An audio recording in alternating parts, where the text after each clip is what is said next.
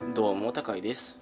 商品レビュー星5段階評価は便利ですが人は無意識に特定の情報を信用するようです。私自身も本を買う時に商品レビューってついつい見ちゃうんですよ。だから慣れた今としてはレビューを見ないように見ないようにっていうのはちょっと厳しいから特定の本を見てるんですね。その特定の本っていうのは予約本です。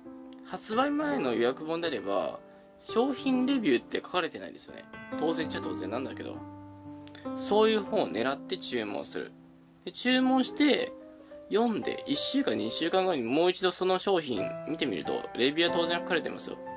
今回は結構ひどいなとかあ結構いいレビュー書かれてるじゃんとか様々ありますけど。バイアスがかかった状態で見ちゃうとどうしてもねうーんレビュー悪いしやめようかなとかそんなこと思っちゃうわけですよ。なるべくだったら読みたいって本をバイアスのない状態で買いたい。そういう意思のある人は発売前の予約の状態で注文するといいですよね。話は戻します。みんなが一番見てる評価っていうのは5段階のうちの星3なんですね。星3感もなく不可もなく中央値の評価を見ている。そこであれば無意識に無条件に多分この評価だったら信用できるだろうって思っちゃう。だけどほとんどの人は星3のとこを見てるんだけどなるべくだったらポジティブな情報を見たいなと思って星4星5も信用しちゃうわけですね。ただ必ずそうなるとは限りません。ほとんどの人は星3を信用します。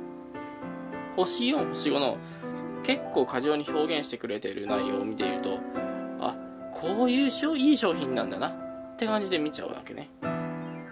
で逆に星1星2っていうネガティブな表現こういう結果がありましたよっていうようなそういう表現の部分は見たとしてもまあ安物だからそんなもんだよね。っていう表現なんですね。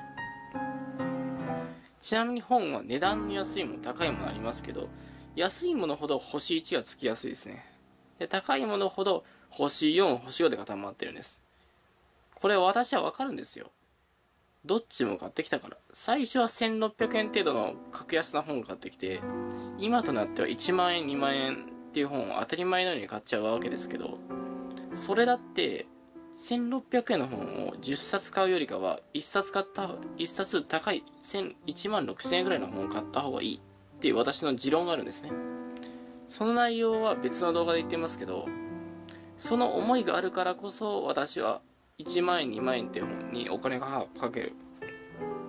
その方が満足度も高いしね。皆さんはどこを見ますかね。私はバイアス星5星4もしくは星3というのを見ずに買い物するのであったらそれが自分自身の物差しにもなるし外れる引くかもしれない。でも当たりか外れかそれを自分自身の目で見極めたいなその物差しを作りたいなというのであれば予約本を注文することにしましょうね。チャンネル登録お願いします。画面の右上のボタンを押してください。それでは。